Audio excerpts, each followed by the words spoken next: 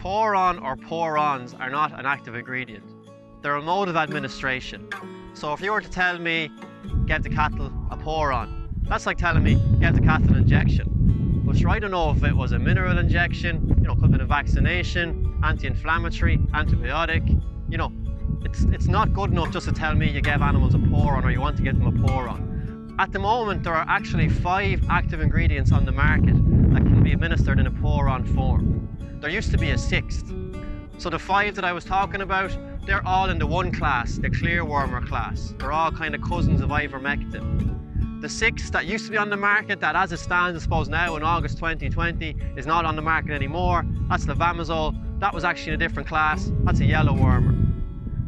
So because all the pour-ons that are on the market at the moment are in the clearwormer class, we know from previous videos on the website that the clearwormers have kind of a special characteristic in that they're effective against both the externals, so that's the lice, the mange mites, and the internal parasites that affect cattle. Internal ones obviously being lungworms, stomach worms, and um.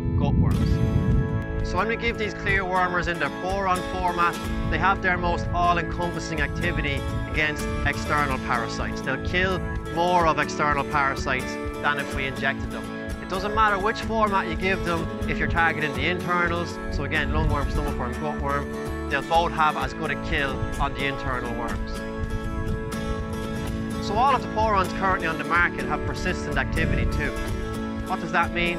It means if I give the animal a pour-on today, any worm or worm larvae inside that animal will be killed but for a number of weeks following on from today, any larvae they pick up off pasture will also be killed. It won't get a chance to develop and proliferate. So that's a good point on the pour-ons.